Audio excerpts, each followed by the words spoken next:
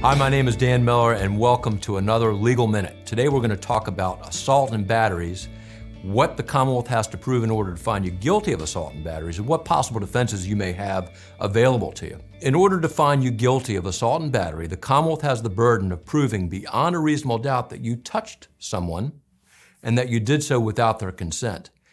Interestingly enough, there does not need to be any corroborating evidence. That means that someone can go down to the magistrate's office, allege that you touched them, shoved them, pushed them, grabbed for their phone without any physical evidence, without any bruising, marks, or abrasions, can get that warrant against you for assault and battery. So there's two main defenses to assault and battery. The first defense is what they call self-defense or defense of others. When one applies the theory of self-defense, they have to prove that they were in reasonable apprehension or fear of being assaulted and that that amount of force that was used was reasonable in light of the perceived threat.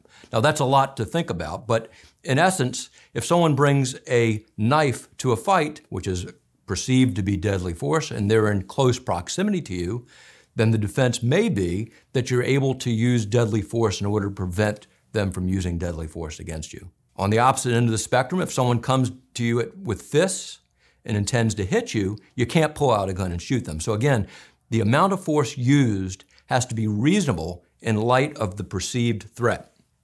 The second defense that's available to you is what's called mutual combat. In that scenario, both parties consent to getting into a fight. One strikes the other first, and then a fight ensues. That person that's been injured cannot then go to the magistrate and claim that they were assaulted because they consented to get into this fight.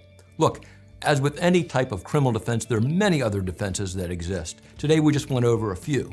If we can help you with this or any other matter, please give us a call. And remember, the right attorney makes all the difference.